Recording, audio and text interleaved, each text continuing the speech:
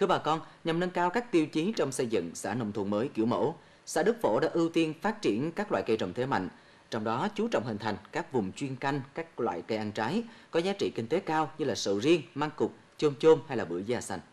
Song song đó, tiến hành chọn hộ có diện tích vườn cây ăn trái đang trong giai đoạn kinh doanh, vườn đẹp, có giá trị kinh tế cao để vận động triển khai xây dựng vườn mẫu. Có 5 tiêu chí để xây dựng đánh giá và công nhận vườn mẫu. Đó là vườn phải nằm trong khu quy hoạch sản xuất cây ăn trái và quy mô vườn tối thiểu là 3.000 m2.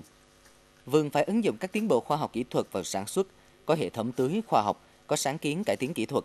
Sản phẩm từ vườn mẫu phải đảm bảo vệ sinh an toàn thực phẩm và có sổ theo dõi nhật ký quá trình canh tác. Cảnh quan môi trường phải có hàng rào xung quanh vườn, chất thải trong sản xuất phải được thu gom, bỏ đúng nơi quy định. Giá trị sản xuất của vườn cao hơn từ hai lần trở lên so với bình quân chung của các vườn. Với những tiêu chí đó, trên địa bàn xã Đức Phổ có 9 vườn mẫu đã được công nhận và 12 vườn đang trong giai đoạn chờ thẩm định.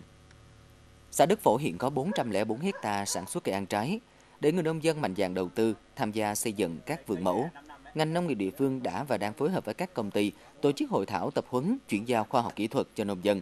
xây dựng các tổ hội, chi hội nghề nghiệp chuyên về sản xuất cây ăn trái, xây dựng sản phẩm ô cốp, đưa các sản phẩm lên sàn thương mại điện tử để quảng bá tiêu thụ sản phẩm cho bà con nông dân.